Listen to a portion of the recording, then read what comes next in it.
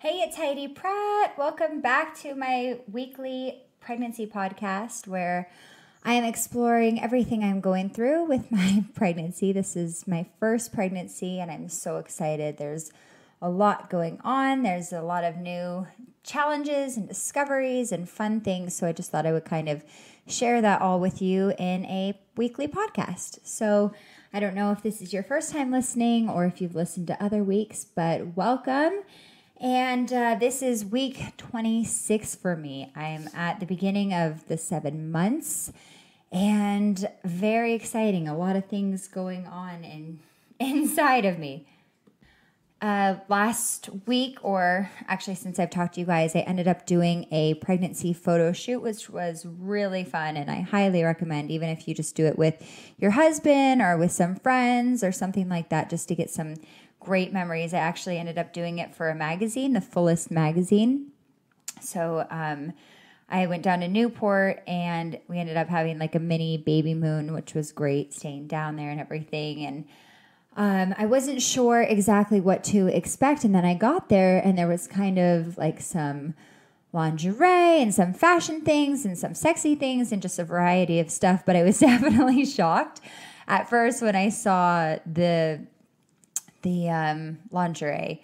And there was a beautiful dress over it and it was really classy and beautiful but i was like oh i wasn't sure this was the route we were going. And um, it, it, ended up being really fun and, and very empowering. I've i'm very proud of my body and i think that becoming a mom and being so motherly and womanly is such a sexy cool natural thing. And it was really fun to embrace that. And I felt really good during the whole thing. I was way more tired than I realized at the end. I wasn't really taking breaks and I like to just power through and work through things, but I was more tired. I should have taken some more breaks, had a little food in between. It was like a six hour photo shoot or however long.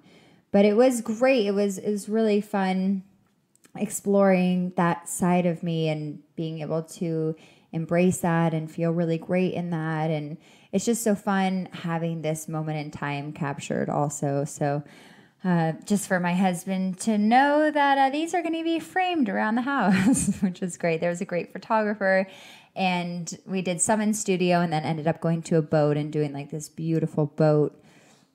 I don't want to blow the surprise, but anyways, it was really gorgeous. And then afterwards, we went on my friend Nikki's yacht, and she's the one who actually runs and owns the magazine. So that was amazing and so much fun. And it was fun being back down in Laguna and Newport. I haven't been back there in, well, since Laguna Beach, the TV show. Um, I lived there for a summer with Lauren, and I haven't been back there since. So it was fun just going down there and kind of re- just having a, a moment in time like, wow, last time I was here, I had no idea what was going to happen in my life. And I was living with my friend, and the world was just so different. And going back with such a different perspective. And now I'm married and I'm pregnant. And it was, it was really fun. It was really cool being there. So, anyways, um, I'm planning on doing one more pregnancy photo shoot uh, I, I can't decide if I want to do those nude photos or not. I think they're so beautiful and gorgeous, and um, they don't really show anything, anyways, not much more than a bikini. So I think that I'll probably end up doing those. And then um, our baby moon's coming up, which is so exciting. I can't wait. And then we have a trip to New York this week coming up. And oh, I asked my doctor because we're flying a lot. I'm going back and forth to New York. And then we have our baby moon. And she said to take a baby aspirin before you fly because uh, apparently pregnant women are prone to blood clots. And it's important not to get those. So if you are flying, that is what my doctor recommended just to have one. Um, actually, I'm not sure. I think it was baby aspirin. I'm going to recall and ask if it was Advil or aspirin, but I think it was aspirin. And uh, so, anyways, I'll figure out that. And then my other friend recommended compression socks. So I'm going to get some compression socks for the flight and just try to walk around a little bit and not be so confined to my chair because flying was challenging for me. But, anyways, lots of exciting stuff coming up. And um, also, I have my baby shower narrowed down. I was going to do it in August, but that's just coming up too soon. And then we're gone and we're out of town. And I, I really want to enjoy it, be able to get everything planned for it, not be too big for it, but just, anyways. And, and my mom was here this weekend. I had the most fun with her. I only cried for like 10 minutes after she left, which was pretty good. But we had the best time. We were looking at the nursery and putting some stuff together. And it's just such an incredible bonding experience with your mom or with someone in your life like that. And, you know, I've always really loved and appreciated my mom. We only had a quick turbulent period there, we'll call it. But other than that, I mean, my entire life, my mom has been like my best friend and I've been so close to her. So to go through this with her is just so amazing. And seeing her in a different light and being able to have her support there. And it just meant the world to me. And it was actually after this photo shoot, and I was really tired, and I just needed that time with her and kind of to re energize and refocus. So it was really fun. We picked out some beautiful curtains. I'm going to do some blue and white light striped, I mean, like horizontal stripe, pinstripe, but not not thin for the nursery. So we did that and we have some bedding picked out. We ended up going to Restoration Hardware and some other places. And it's hard to find bedding in stores. I might just be going to the wrong places, but I think I'm to also look in online and see what's out there. But it's fun having everything come together. And then we went to Pottery Barn and got some other stuff for my house. So lots of nesting, lots of bonding time with my mom. And um, it would have been harder for her to leave if she wasn't coming back in September for my baby shower. So thankfully she's coming back, but I definitely miss my, my mom.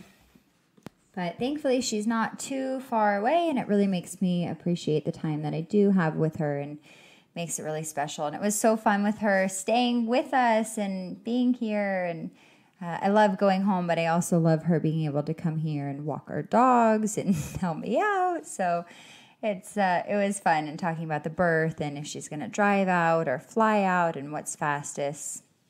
So, also today I just went to my doctor and I had a feeling I've gained a little bit too much weight or just more weight than I definitely anticipated. I haven't been able to work out like I wanted to during this pregnancy and I've been indulging a little more than I thought that I would and I've gained 25 pounds. I guess it's seven months, but I still have, I mean, three months to go, basically. So I don't know, unless he comes early, but I have all of August, September, and mostly part of October.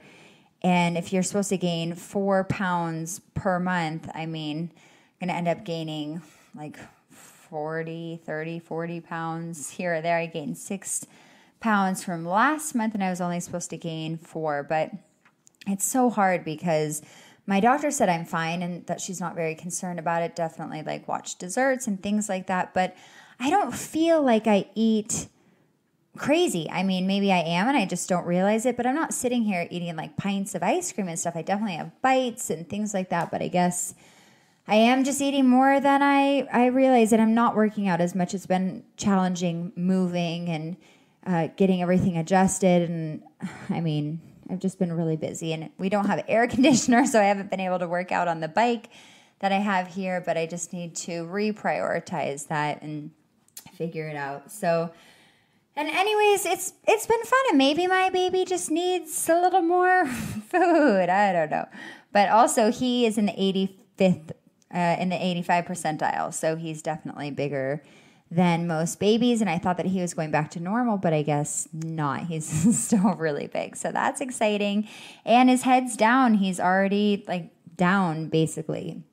And um, my doctor's not sure if he is going to move or if he's just going to keep descending. He probably won't come back from where he is because she said it's comfortable. And a lot of first time babies do that. So at least he's positioned the right way, which is a blessing. And I'm really excited about that if he doesn't end up moving a lot. But it makes sense too because she, my doctor asked, is there a lot of pressure? Do you feel a lot of pressure? It's like absolutely. I mean, I have to go to the bathroom all the time and I'm I'm feel like he's really heavy and she's like, "Well, that's why." And so it definitely made sense. It's like, "Ah, I'm not making things up and where I've been feeling all the kicks is where his little legs are." But it's so fun seeing him. I love seeing what he's doing in there and kicking and moving and his little body. So my sister had a great point. Maybe I'm going to have my baby early because she said that a lot of women who are shorter have their babies earlier because there's not enough room for the baby. And so he tends to come early. And I have read that somewhere else, but that would be great. I would love him to come a little bit early. And then it makes sense that I'm really at like 29 weeks or something. So maybe he just wanted to gain a little extra weight. And my sister was saying our bodies are so smart. And if he is coming sooner, then my body would know that. And that's why I am gaining more weight or why he's bigger or certain things like that. So I'm just going to pray about it and trust God and try to make healthy decisions, not worry about it, enjoy it. I mean, this might be my only pregnancy. I hope not. I hope we have more kids, but you just never know uh, what happens in life, or if we have one and done, that definitely happens to people. I'm not sure how this is going to go. So I just want to be open, but I want to fully enjoy this pregnancy because right now, this is such a moment in time that I will never get back. I also re thought about the epidural, and my mom was saying that for her first child, she did have an epidural, and then for her other two, she had natural. And that she would definitely recommend having the epidural first, but then she started thinking about it and said, it sounds like you really want to do it natural. Maybe just try that way. And if it gets too much, and then I re talked to my doctor about it and my sister, and I don't know. Maybe I will just get it. I don't know why I wouldn't. It does sound like it's a lot. Why not make it a little bit more enjoyable for myself? My mom's done it natural, and I asked her, Well, did you get this? Like, was it really different for you? Did you get that?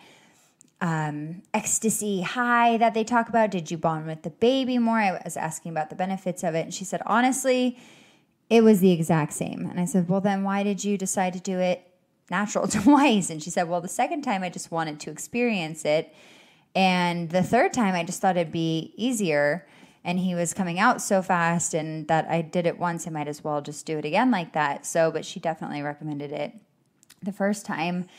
And I am pretty little and I do have great doctors and I don't know. So I'm actually going back more towards the epidural than I was leaning before. And I asked my mom if it prolonged her labor, and she said no. And I asked my sister, and she said no, that she had a pretty quick labor as well. So I don't know. Just some food for thought. If you guys have any thoughts about it, let me know. But this is such an exciting week. I was a little bit concerned that I wasn't feeling my son move so much. And this week he started kicking and moving. And when the music comes on, sometimes he starts moving more. And it's just so fun. I literally stop everything I'm doing just to feel him and to be there. It's just, it's amazing. It's so wonderful. I'm so thankful and excited that he's starting to move around a lot. I really was looking forward to that. And he woke me up the other night and I just laid there smiling you know, probably at 3 a.m. or whatever. But I was so happy that he woke me up, like, ah, he's kicking. And it was just amazing time. So, anyways, moving into week 27 here. Very excited. Thank you all for sharing this journey with me. And I'll let you know how everything's going. I'm not sure if I'll do one next week. Um, we'll be in New York and then have a lot of things coming up. So I will talk to you soon. And thank you guys so much for listening. Have a beautiful, blessed day. Talk to you soon.